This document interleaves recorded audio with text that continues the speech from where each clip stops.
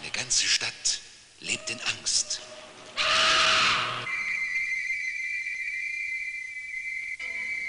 Jedes Fähnchen ein Verbrechen des Roten Kreises. Ein Film nach dem berühmten Roman von Edgar Wallace. Na, viel schreibt der Herr ja nicht. Tja, aber das bisschen genügt. Stück Papier, paar Buchstaben aus der Zeitung rausgeschnitten, roter Kreis, aus. Ein Todesurteil. Der Rote Kreis.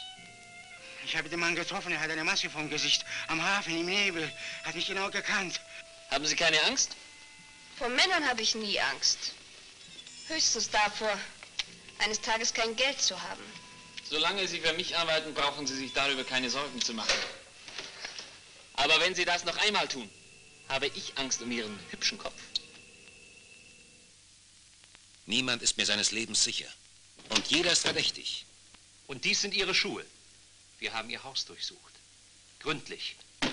Ich weiß gar nicht, wovon Sie reden. Und dann haben Sie Freund im Zug vergiftet, weil er auf keinen Fall nach London kommen durfte.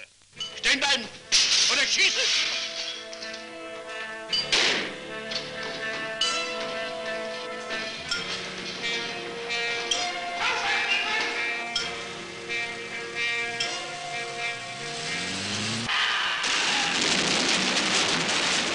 Drei Morde in 24 Stunden? Wenn das das Resultat Ihres neuen Plans ist, vielen Dank. Der Rote Kreis kennt kein Erbarmen. Es hat noch keiner länger als eine Stunde gewusst, wo er mich erreichen kann. Wer ist der Chef der Bande?